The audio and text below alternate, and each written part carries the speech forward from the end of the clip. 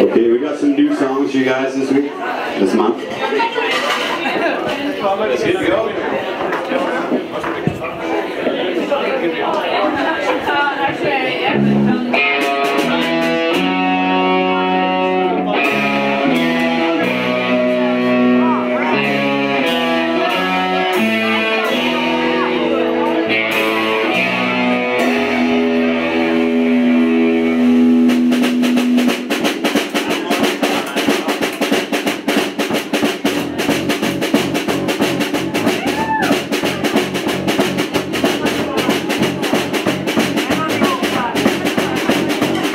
I've been driving all night.